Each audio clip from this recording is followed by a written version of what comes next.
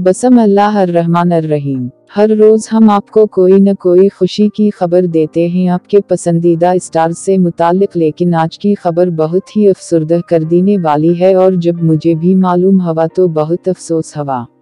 लेकिन मैं कुछ बातें कहना चाहूँगी जो आखिर तक होंगी, सो इसके लिए आखिर तक लाजमी देखिएगा।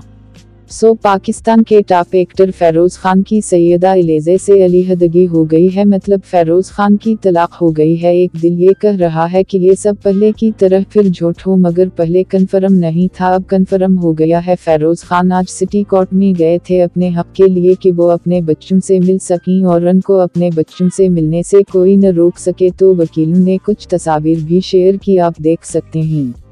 जब पहले भी एक बार खबरें गर्ज कर रही थी कि फेरोज खान की तलाक हो गई है तो तब भी उन दोनों के दरमियान कोई न कोई बात थी। जब अक्का में अंदाज़ा लगा रही हूँ, मैं ही नहीं, सभी फेरोज ने तब इंस्टाग्राम पर बेटे के साथ तस्वीर शेयर करके लिखा था कि हम इसकी तफसीलात आपके सामने रखते हैं कि अगर ऐसे बच्चों की परवाह नहीं तो मुझे भी नहीं मतलब मुझे इसकी नहीं। अस्कैपशन से यही रिलेट किया जाता है और आप देख ही सकते हैं कि फेरोज को अपने बेटे से और अब बेटी से कितनी मोहब्बत। खैर, कुछ दिन पहले एलेजे ने जब अपनी बेटी की तस्वीर शेयर की तो मुझे एक मिनट के लिए तो हैरानगी हुई और फिर मेरे जहन में आया कि ये फेरोज खान की रजामंदी के बगैर ही शेयर की उन्होंने और वही हवा क्योंकि फेरोज खान ने अभी तक अपने बेटे का चेहरा नहीं दिखाया तो बेटी का कैसे खैर? जब पहले भी तलाक की खबरें गर्ज हुई तो फिर आज के बाद फेरोज खान और रिलेजे एक साथ किसी शादी पर नज़र आए और फिर आखिरी बार ईद पर ईद की तस्वीर शेयर की, वरना वो कहीं भी नज़र नहीं आए और नहीं दोनों ने दोबारा एक दूसरे को फॉलो वगैरह किया। खैर, अब जो असल बात है, जो सब जानना चाहते हैं कि फेरोज खान की तलाक क्यों हुई। कुछ वजूहत हमने आपके सामने रखी। खैर, लोग जानना चाहते हैं, अव्वल वजह तो मेरा ये सवाल कि आप किसी को अपनी पर्सनल लाइफ के बारे में किसी को बताओगे नहीं ना? तो वो क्यों बताएँ? अच्छा ठीक, हम सबसे मोहब्बत करते हैं कि फिन्स हमें दुख होता कि ऐसा क्यों हो गया, लेकिन आप खुद भी तो स्विची न अब इतना भी न किसी की पर्सनल लाइफ में घुसने की कोशिश करें।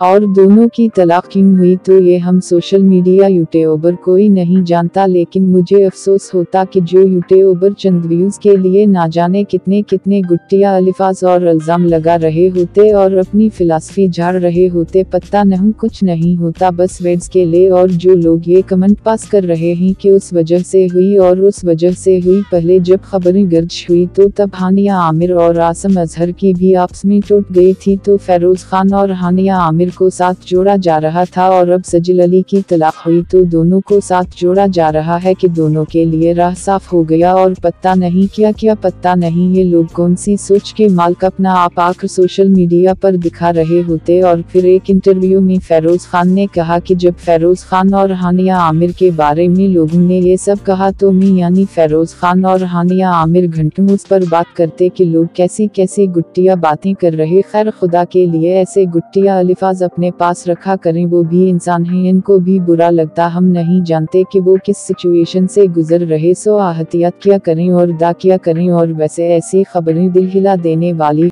और वैसे भी अब इनके बेटा बेटी थे तो बहुत ही अफसोस होता है कि बच्चों के लिए कितना मुश्किल होता। कभी मुँह की तरफ़ तो कभी बाप की तरफ़। उनकी ज़िंदगी पर भी तो असर पड़ता। बाकी आप खुद अंदाज़ा लगा लें, खैर चार साल के बाद ये शादी कामयाब न हो सकी। चार साल के बाद दोनों में अलीहदगी होगी। खैर अल्लाह सबकी मुश्किल को आसान करे, आमीन। होती सो उम्मीद है आप सब लोग मेरी कही हुई बात को समझेंगे। सो प्लीज़ जाते जाते चैनल सब्सक्राइब करना न भूलिएगा। मिलते हैं अगली वीडियो में। तब तक के लिए अल्लाह नगहबान सामने को मुझे कहते हैं जी हेरा मानी सब्सक्राइब करें। YouTube channel